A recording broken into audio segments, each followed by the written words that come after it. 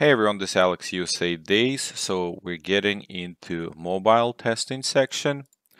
Now we already did a lot. Uh, we're at module 11 right now.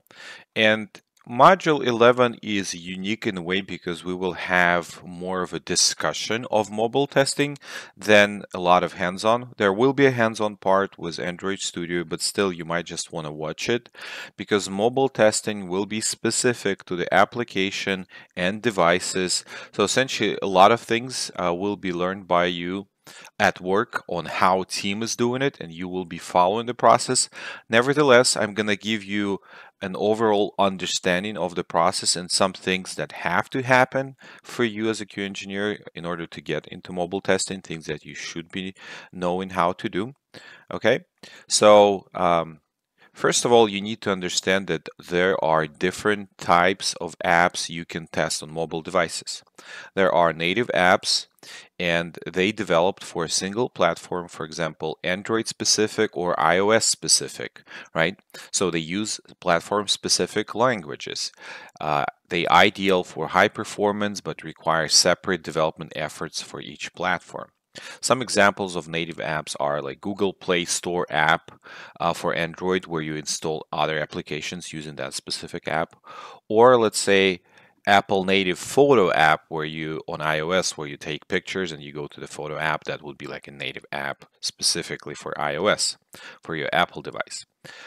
Then there are hybrid or mixed mobile apps. Um, they build with web technologies but run in a native container accessing some native features. So even though you install them through the store, for example, like Instagram, it's only a shell of a native app. Behind the scenes, there's a lot of web technologies, a lot of like API doing the call. So um, essentially the background function of it might be the same or very similar across multiple platforms, right?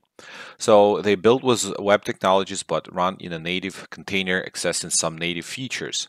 Balance, uh, they provide balance between development speed and native features. They may have performance limitations for complex apps and some example is um, Instagram is native shell for each platform, but behind the scenes we have web technologies and API.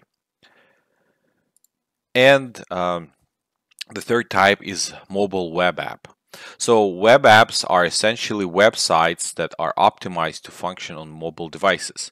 They're accessed via web browser and don't need to be downloaded and installed on the device. For example, opening Facebook with your phone specific browser instead of an application. That would be an example of using mobile web app. Also, the specifics of testing as a mobile uh, Engineer, you will have to be aware of the latest mobile trends, operating systems, and devices, their popularity. Most popular devices will depend on the region and the product. I will uh, have two links, some examples where you can read about the latest uh, versions of Android and iOS. But again, most most of the time it will be a team decision where you focus your testing effort with mobile. Okay. Now, some specific of uh, app installation for Apple devices. So you will have to have IPA file, uh, and it is an application archive that is contains an iOS app. In simple words, it's a file that can be installed on iOS devices and used as an application. One of the methods of installing an application is using Xcode. That's a development environment used to create apps for iOS. Uh, you will have to connect iOS device to a Mac via USB. You'll have to open project in Xcode. You'll have to select connected device as a target in the top toolbar and then click on play button to build and run the app on the device. Uh, you can also test iOS devices using TestFlight. So this is a specific uh, app on iOS Store, and you can upload the app to TestFlight via App Store Connect. Uh, add the email addresses of the testers in TestFlight. Testers will receive an invitation to download the app from TestFlight. Now, this is again will be mostly like a team effort. This has to be organized in structure, so you'll have like a team lead or a test lead that will help you throughout the process, right? And then ad hoc distribution. So you'll have to export the app as an ad hoc build from Xcode, uh, distribute file.ipa uh, to testers, then they will install it via iTunes or other tools like Apple Configurator. Okay, so there are different ways how you can actually install application on iPhone to test it. Uh, and then you'll have to be able to gather logs. You can definitely do like screen recording and just screenshots and email them to yourself as part of log gathering process, but there are other tools you can use as well. So you will need to gather logs and images, videos for bug reports and test reports, right? You can gather logs in Xcode, uh, device and simulators window, or in console app right? In Xcode, you'll have to go to Window, Devices and Simulators, and then select the connected device, and then logs will be under the device information. You can view and export logs from there. Uh, or you can open your console app on Mac and then select the Connect iOS device from the sidebar to view its logs. You can also use third-party apps to intercept and analyze traffic, and I will be showing some of this later on, but you can use things like Charles Proxy, Fiddler uh, to capture HTTP, HTTPS uh, web traffic to do uh, web and API testing. Uh, or you can use Wireshark to capture networking traffic and do troubleshooting.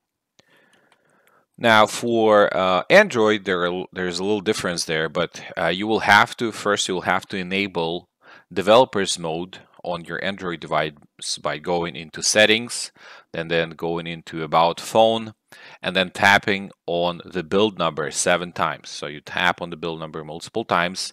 It will show that you're uh, enabled a developer's mode. Then you can go into the settings, developer options, and then enable USB debugging. So if you have an Android device, you can see it for yourself on your Android device. Now after that, you'll have to obtain Android package kit file uh, of the app you need to test. So development team will usually provide this file and then you'll have to put this file, this application on your phone. So you'll have to connect your device to computer uh, where you have Android Debug Bridge installed. I have the link here for the ADB. So essentially it's a special tool that allows you your console and your computer to communicate with your Android device that is connected to your computer via USB. And you can use a following command to install the APK. So you can do adb install and then just provide the path to your APK file. Uh, or you can use Android Studio Code, and I will show you in the next video how we can use Android Studio Code. Uh, you can use Android Studio Code and test with emulator, right? Uh, for Android log gathering, uh, you can do it through command prompt uh, or a terminal using logcat. So you can type adb logcat to start capturing logs. You can filter the output or save it to a file with additional command line options. Uh, for example, you can save logs to a file using adb logcat-v time uh, android logs txt command that you see here in the file on the screen. Um, or you can use Android Studio for logs, right? You'll have to connect your device to your computer using USB cable. You'll have to launch Android Studio and open Logcat window. And you want to ensure that your device is selected in the drop-down menu of the Logcat window. You also want to filter log because Logcat output a lot of information. So you have to use filters to narrow down the logs to the relevant information for your app. You can filter by log level, like errors, warning, info, debug, verbose, and so on. Or by a tag that your application uses in its log messages. You can also use third-party apps, um, and again, we'll have an example of that with Charles Proxy to intercept and analyze traffic. Uh, so Charles Proxy, Fiddler, they can be used for web traffic and API testing, or Wireshark uh, can be used for networking troubleshooting. Now, what to focus on during mobile testing? There's a lot of things, right? So you can have functional behavior. So you want to verify all apps functionalities perform as expected. Uh, you can test user interface and experience. So assess that app's ease of use, design, and navigation. Uh, you want to verify compatibility, so check the app on different devices, operating system versions, and screen sizes. You want to check performance, so evaluate the app's speed and responsiveness, test for any lags or crashes. You want to verify battery usage, so monitor how the app consumes battery power during various operations. You might want to check for overheating, observe if the app causes the device to overheat during usage, right? You want to test networking speed, so you want to test how the app performs under different network conditions, connected to Wi-Fi, uh, connected to 4G, 5G, 3G, and even lower speeds, right? You want to test security, so check for data leaks and proper handling of permissions. You want to verify accessibility, so ensure the app is usable by people with different abilities. And you want to verify localization, so validate proper functioning with different languages and regions if applicable. So with so many things to test, teams should prioritize. And uh, when you're testing mobile, you would normally have a test plan in place. How do you approach testing certain applications? Uh, you want to see team uh, figuring out what devices should be used first, like what are the most popular devices for this product, uh, what operating systems on those devices and what app version you want on those devices. You also want to use critical path and kind of mimic the basic, the most often used user behavior with the application, what user normally does as part of your like regression flow. And you want, want to ver verify new features uh, first. So whatever is getting added, you want to focus on that as well. So yeah, there is a bit of a difference when you approach mobile testing, uh, but most of it is just figuring out how to work with a mobile device, how to install the new build, new application, how to um, get the logs. And once you're done through that process, uh, it's very similar to normal testing that you would do with web, let's say, right, or API. The approach, the, the default, the basics, the foundation of testing is very similar. Uh, it just needs a little bit of a hands-on experience. So, and a lot of things that are priority, they will be unique per product, per team. Like in mobile testing, we need to do this or that, and that will completely depend on what actually is being tested.